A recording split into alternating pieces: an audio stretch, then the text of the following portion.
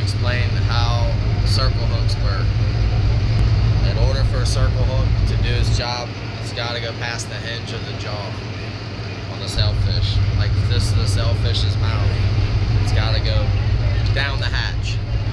That's why it's important when you get the bite. Fish often swims off with it sideways in their mouth to give the reel completely free spool. That means as light of pressure with your thumb as possible. Because what happens is they swim off with it and they flip it out like this and they swallow it.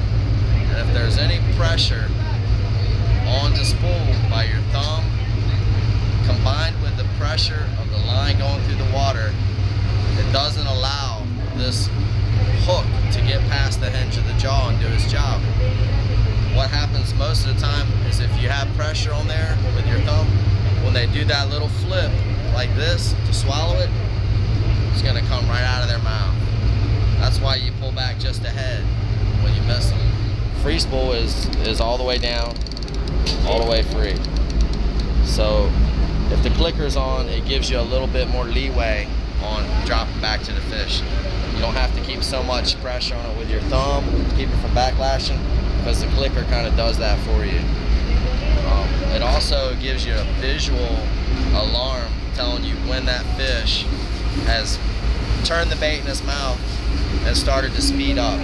Because usually when they flip it around and eat it, they change gears and they go a little faster and that clicker will go.